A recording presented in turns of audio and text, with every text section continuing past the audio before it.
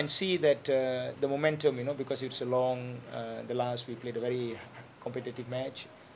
Uh, we need we need to get back into the rhythm, and I, I believe that uh, I will in, uh, inform the players what need to be done. It's going to be tough uh, going going there and going to play with Taiwan because I think uh, they they look they are very committed and uh, they work very hard.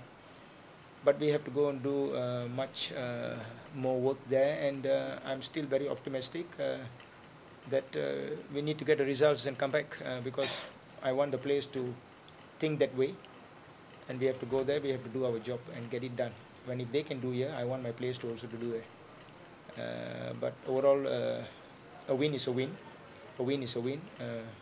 It's not a draw which puts us into a situation. It's a win that we have to think in a very positive way.